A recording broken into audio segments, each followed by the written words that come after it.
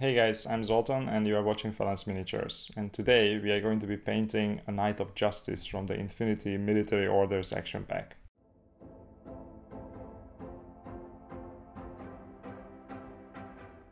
While you are watching me paint the base coat on this dude, let me tell you how I went from my happy little Warhammer bubble to painting an Infinity model.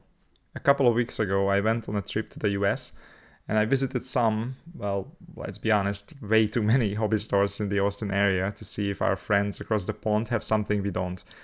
To be honest, I was a bit disappointed overall by the selection, but checking out some of the display cases in one of the stores, I came across a model I have never seen before, and it was simply beautiful. Someone must have painted it for a competition or something like that, and as I found out later, he managed to replicate the box art almost perfectly. I just couldn't tear my eyes away from it.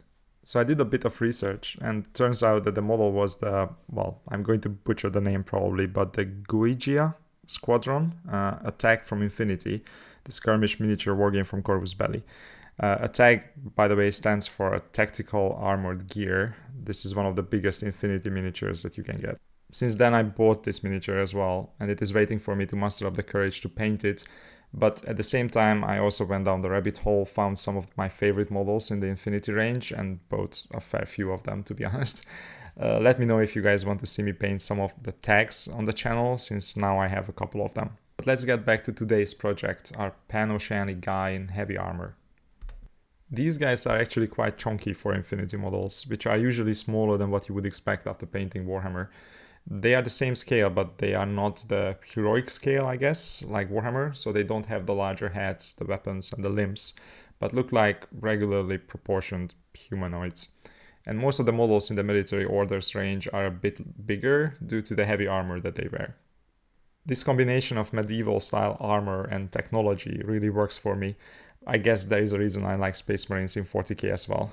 The models are also made out of metal and they are extremely detailed, which makes them super fun to paint.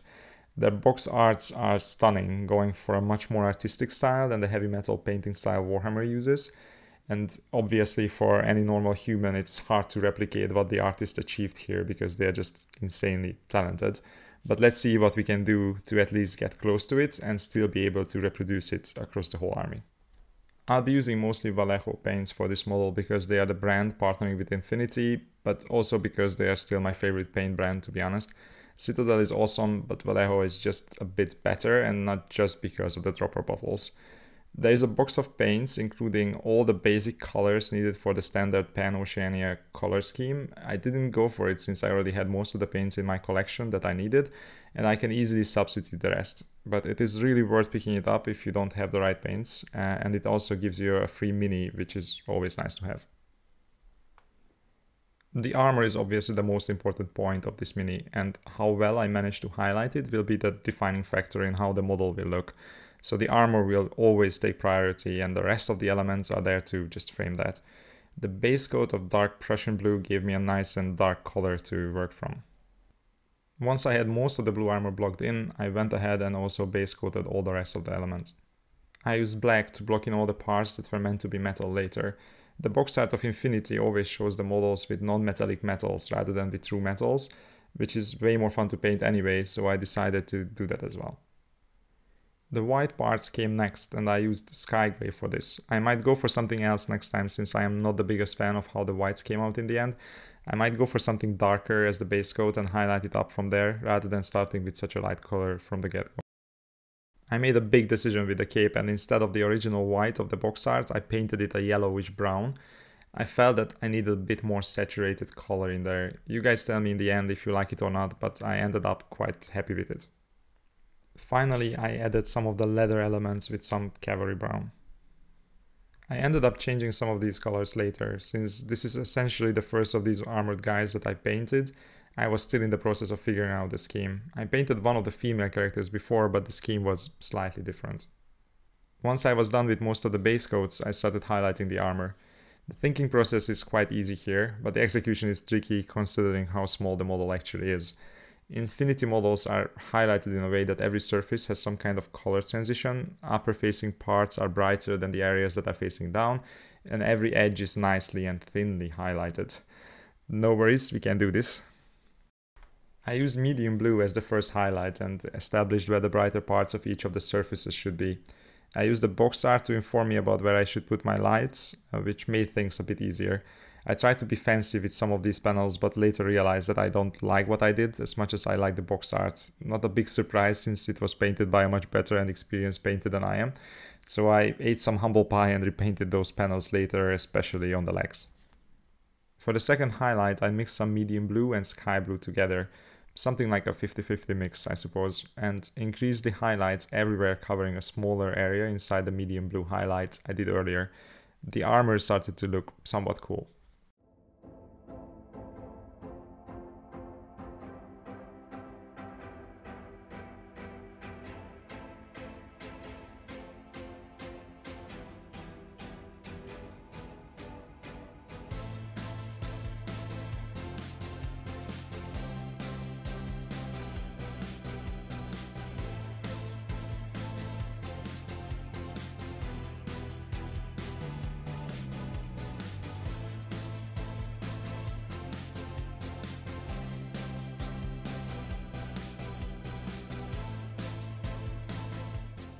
After this, I was burnt out on the blue a bit and started to do various other things.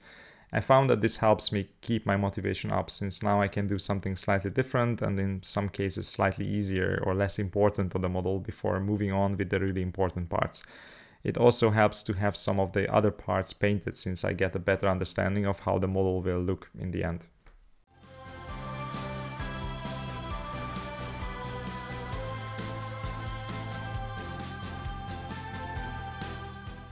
The cape is a pretty big part of the model, so I also put some effort into that.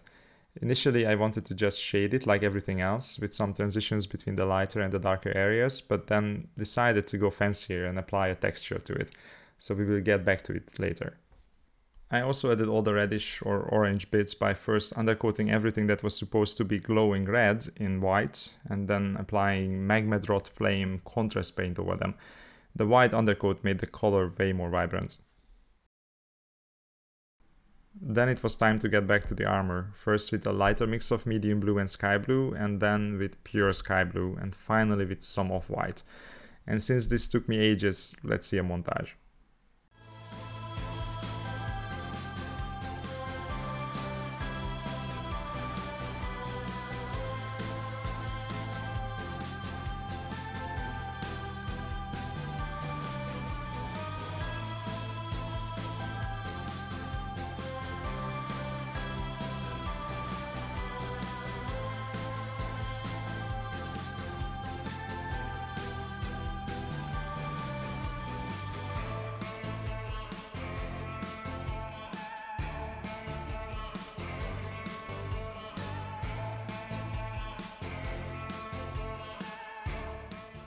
I also turned back to the cape to finish it off by applying texture on top of the rough blending I did before.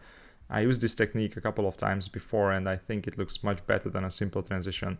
It is also quite simple to do once you get the hang of it, so let me know if you want to see a tutorial about it on the channel.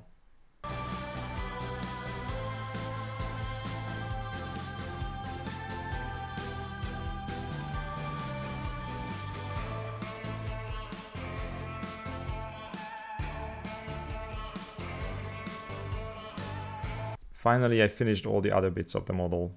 I highlighted the whites until I reached an off-white. It looks passable, but I'll have to further refine it for the next models, I think.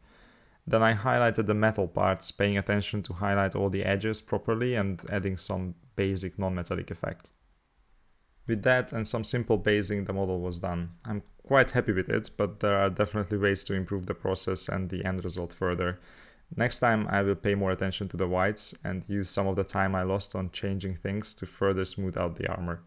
But what do you guys think? Do you think it's worth putting this much effort into an army, considering that you need much less models than for 40k, or do you still prefer to do something simpler? Also, would you like to see more Infinity content on the channel? Let me know. Until then, don't forget to like the video if you like the content and subscribe to the channel if you would like to see some more like it. See you in the next one.